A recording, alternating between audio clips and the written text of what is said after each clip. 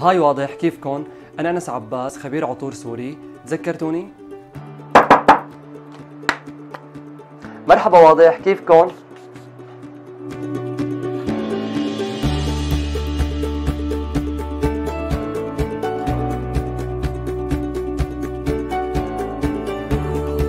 لما صورنا هذا التقرير من ثلاث سنين ما توقعت يكون في هي الضجة الكبيرة على منصات واضح. وكثير فرحت وانبسطت بهذا الشيء لأن كان أكثر موقع يمكن بيمنحني إنه أوصل لعدد كبير من المشاهدات.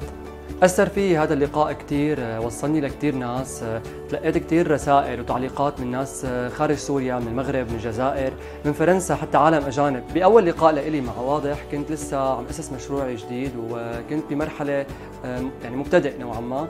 لكن اليوم أنا بهي ثلاث سنين اللي مرت حققت كثير أشياء عملت البراند الخاص فيي وانتشر وصار في منه أفرع ومن بعد منها صممت كثير أشياء وعملت اختراعات جديدة نالت اعجاب كثير من الناس.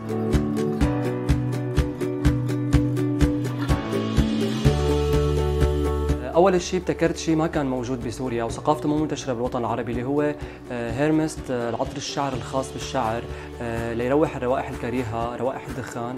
ومن بعد منها انتقلت لأني أصنع الصابون صابون الجسم صابون الوجه واضطرت بعض أنواع الزيوت مثل الصنوبر والعسل والنسكافيه. حاولت أوصل على مواد طبيعية أقدر أطرها وأستخرج منها زيوت واسنسات تحبها الناس وتستخدمها لكثير أشياء.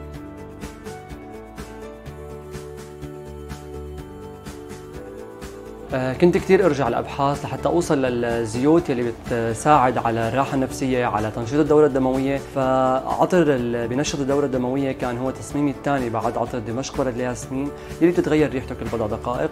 هذا العطر اللي بنشط الدورة الدموية ارتكز على مواد اللافندر والنعناع والليمون.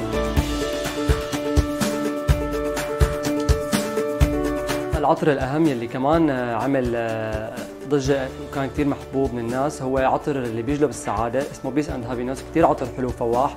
فيه ريحة الباتشولي فيه ريحة اللافندر فيه المسك وفيه العود. بيناسب جميع البشرات.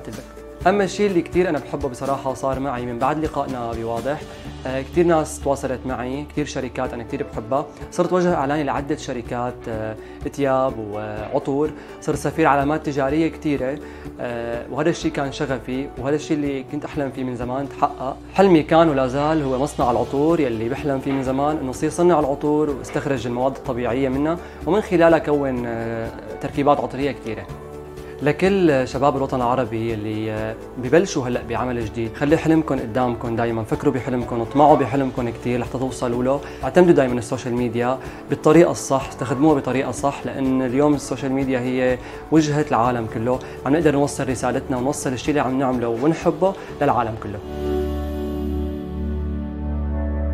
شكرا واضح على هالفرصة الحلوة اللي منحتوني إياها باللقاء الأول واللقاء الثاني وشكرا لجميع المتابعين وشكرا لمراسلتهم بسوريا.